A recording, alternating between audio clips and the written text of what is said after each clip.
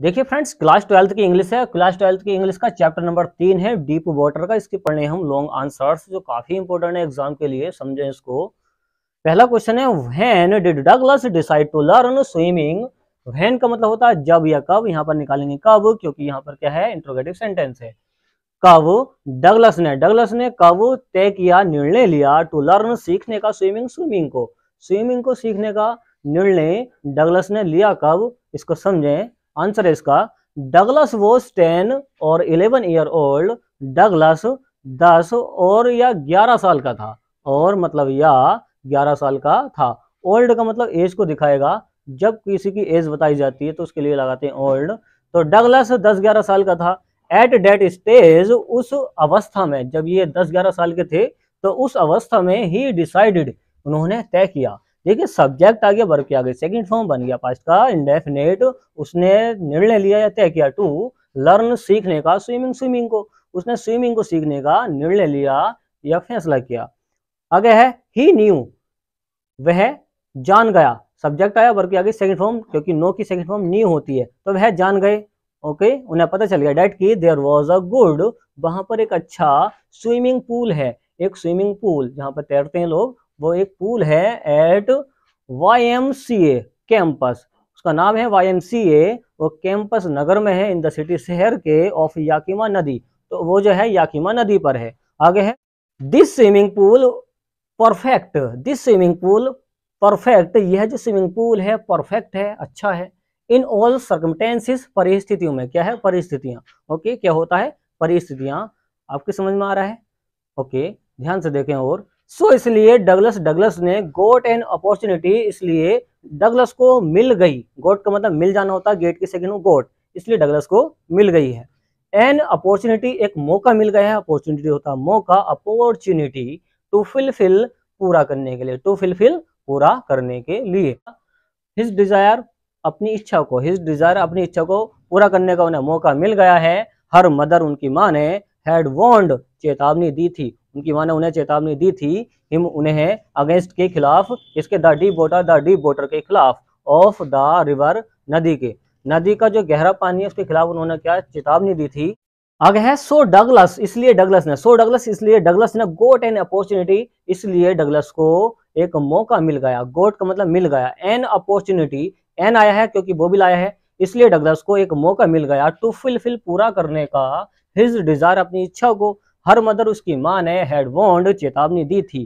देखिए सब्जेक्ट आ गया हेड आ गया, क्या बन गया? पास्ट का परफेक्ट उनकी माँ ने उन्हें चेतावनी दी थी हिम उन्हें अगेंस्ट के खिलाफ द डीप वाटर गहरे पानी के खिलाफ ऑफ़ द रिवर नदी, देखिए, क्या है? नदी के नदी के गहरे पानी के खिलाफ उन्होंने चेतावनी दी थी कि डूब जाओगे, मत जाओ, इस तरीके से।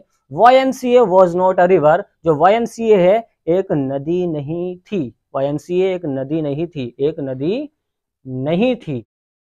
सो so, इसलिए द यंग डगलस इसलिए जो यंग डगलस हैं डिसाइडेड उन्होंने तय किया है टू ज्वाइन शामिल होने का the Y M C A swimming pool इसलिए डगलस ने क्या करा?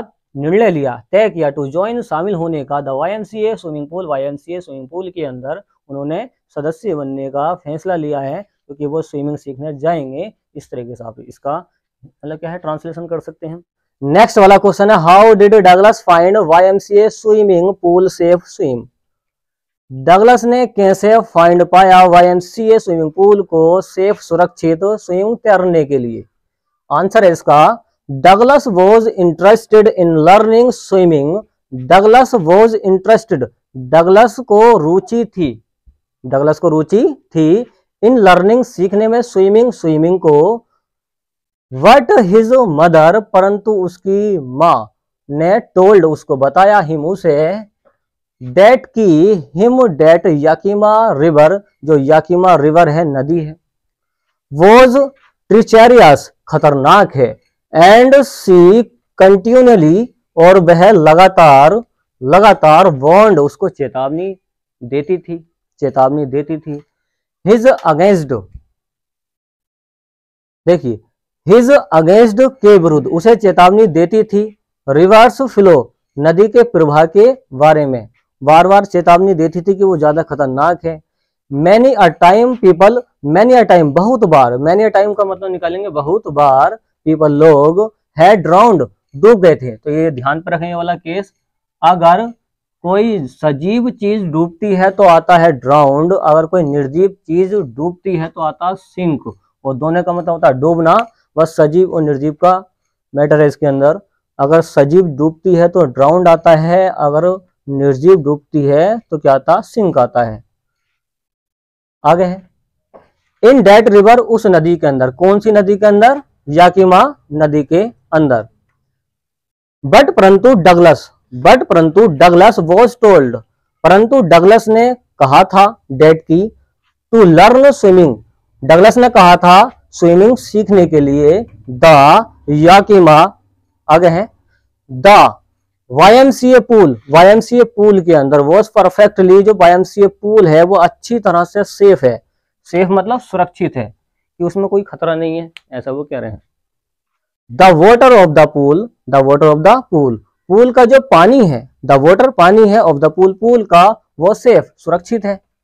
As it was not running और वह नहीं बहता है, नहीं बहता था। इट वॉज़ नॉट रनिंग वो नहीं बहता था, कौन पानी? इसके अंदर? पुल के अंदर। इसी वजह से वो सेफ़ बता रहे हैं उसको। एज डेट ऑफ़ रिवर उस नदी का जो पानी है वो नहीं बहता था। द पूल्स वाटर जो पूल्स का पानी है, तालाब का जो पानी है वॉज़ ओनली टू और थ्री फीट डीप पूल का जो पानी है, केवल कितना? दो या तीन फीट गहरा है। डीप मतलब गहरा। एट द सेलो और वो उथला पुतला है। मतलब कौन है? जो पूल है। और उथला पुतला एंड नहीं है. एंड का मतलब लास्ट मतलब खत्म कर देना होता है ना? तो ये कह रहे हैं कि जो पूल है वो उथला पुतला नहीं है. एंड करा यहाँ पे, इस वजह से नहीं बोलेंगे और इसी वजह से कह रहे हैं सेफ़ है. ये बात ध्यान पर रखना. और कोई सी चीज़ उथली पुतली है या फिर गड्ढे अड्डे हैं उसमें, गड्ढे वगैरह तो उसमें डूब जाते हैं. गड्ढे वाले एरिया में जाकर डूब जाएगा कोई भी. तो उसमें ऐसा कुछ नहीं है. एंड कर दिया इसका, किसका? सेल होगा. दिस वे इस तरीके से दिस वे इस तरीके से डगलस फाउंड डगलस पाते हैं दिस स्विमिंग पूल इस स्विमिंग पूल को सेफ़ सुरक्षित। इसी प्रकार से वो इसको सुरक्षित पाते हैं। ही गोट अ पेयर ऑफ़ उन्होंने गोट प्राप्त कर लिए। गेट की सेकंड फॉर्म गोट उन्होंने प्राप्त कर लिए। अ पेयर ऑफ़ एक जोड़ा, ये एक जोड़ी water wings water wings water wings का मतलब होता है जब पानी में तैरने के लिए जाते हैं तो वहाँ पे वाटर विंग्स दिए जाते हैं जिससे वो डूबे ना।